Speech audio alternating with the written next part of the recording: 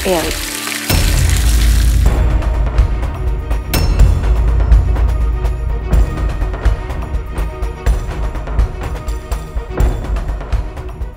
Apa Mas Reno juga mendapatkan pesan yang sama? Mungkinkah dia tahu siapa yang mengirim pesan ini? Bagaimanapun dia adalah anak Tante Dahlia. Dia pasti tahu banyak tentang mamanya. Dewi kenapa? Cuman mau ngobrol aja. Udah dong. Kamu nggak bisa menyembunyikan terus-terusan dari aku. Aku udah tahu semuanya.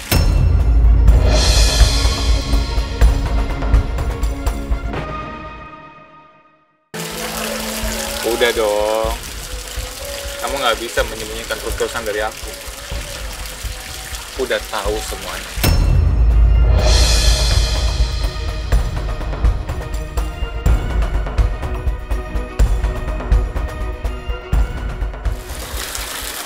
Kamu tahu? Kamu tahu apa, Mas? Iya, aku tahu, sayang. Aku cuma heran aja kenapa kamu merahasiakan semuanya dari aku. Aku udah denger. Aku ini suami kamu. Aku nggak punya pilihan, Mas. Aku bisa Kamu nggak jelasin aku. Itu yang pasti.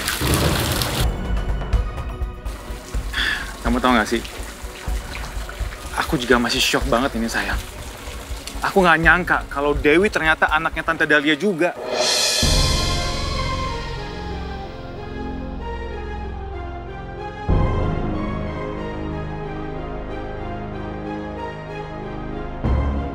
Dari semalaman aku nggak bisa tidur memikirkan itu sayang. Kamu, kamu tahu dari mana? Dari kemarin, waktu kita melayat Tante Dahlia, aku tahu dari Midah.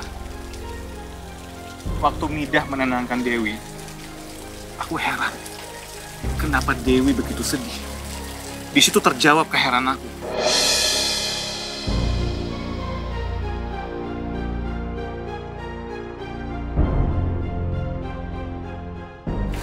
Udah, udah, kamu tenang ya. Sekarang mendingan kamu temuin aja Dewi.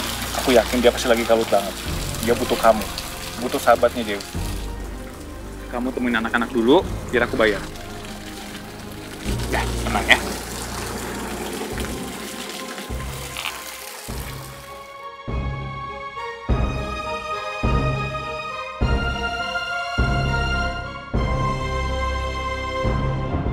Ya Allah, aku harus menutupi satu kebohongan dengan kebohongan lainnya.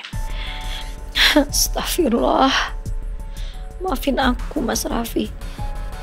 Aku terpaksa menyimpan kebohongan sebesar ini dari kamu. Aku sangat takut dan gak ngerti bagaimana cara menjelaskannya.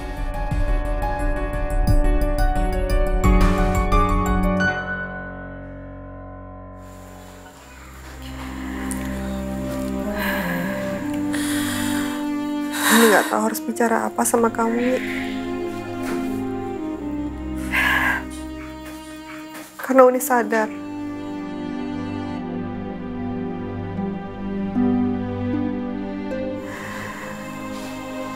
Kata-kata apa pun untuk kamu saat ini percuma.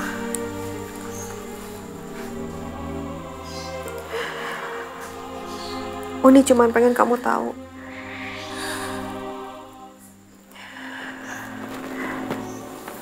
kalau Uni selalu ada untuk kamu. Wi.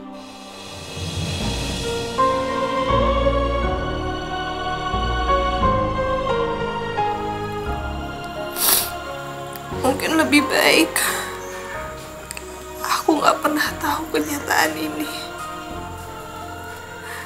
Untuk apa? Aku tahu rahasia terbesar dalam hidup aku. Tapi sekarang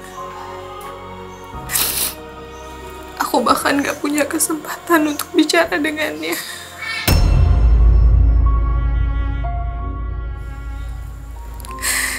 Aku hadapi malah jasadnya.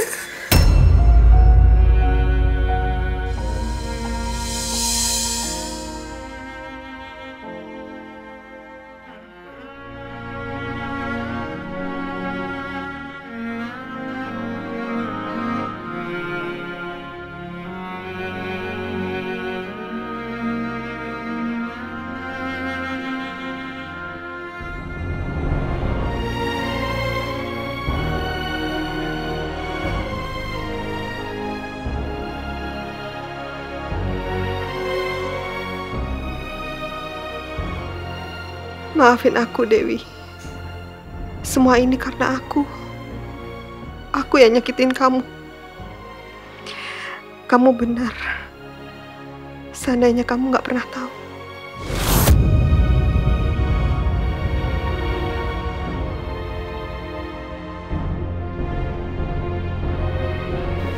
Sayang, kamu mau ketemu Dewi di mana? Aku anterin ya. Em, nanti gini aja deh mas, kalau di depan ada taksi biar aku turun aja, aku naik taksi. Lo kok naik taksi sih? Enggak, enggak, enggak, enggak. Aku anterin kamu, sayang. Kamu mau ketemu di mana sama Dewi? Di rumahnya Mida? Atau mau di tempat lain? Tapi kasihan Indah sih mas. Lagi pula ini kan siang hari nggak apa-apa kalau aku naik taksi. Ya, tapi kan nggak ada salahnya, sayang. Aku anterin kamu.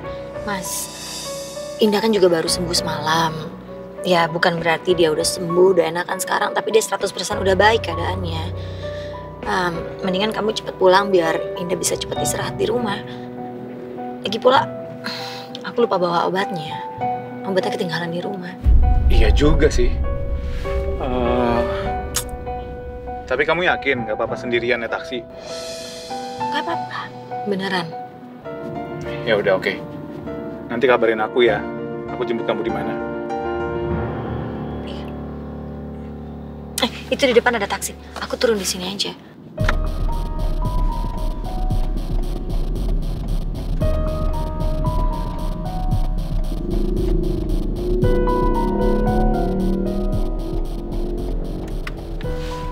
Ah, Sayang mama duluan ya nanti sampai ketemu di rumah. Ya, Mi. Titip adiknya ya.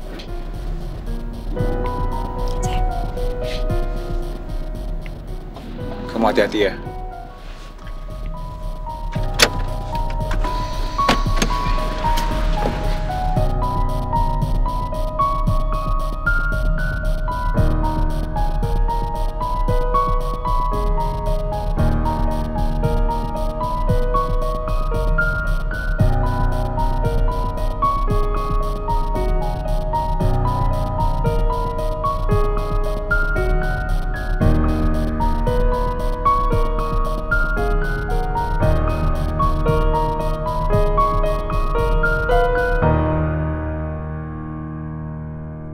Tujuannya ke mana mbak?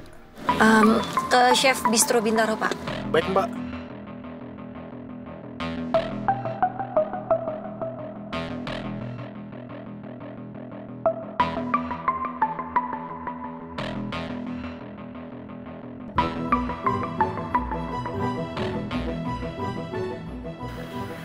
Siapa kira-kira yang tahu rahasia ini ya Allah? Dan bagaimana mungkin orang itu bisa ada di tempat kejadian? Apa yang sebenarnya terjadi? Apa yang akan terjadi setelah ini?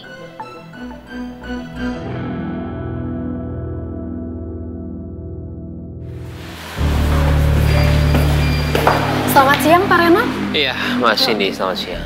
Private room yang Bapak minta sudah saya siapkan. Kalau boleh tahu untuk berapa orang ya Pak ya? Buat dua orang, ya. Untuk dua orang ya? Di sebelah sana Pak. Eh, di daftar menu itu jangan ditulis nama saya. Jadi orang-orang juga nggak tahu saya di sini. Baik Pak. Ya.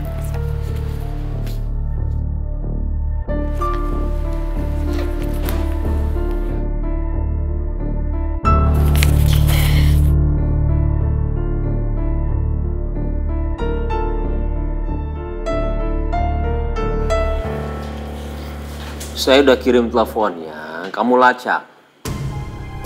Iya, kamu lacak sampai ketemu.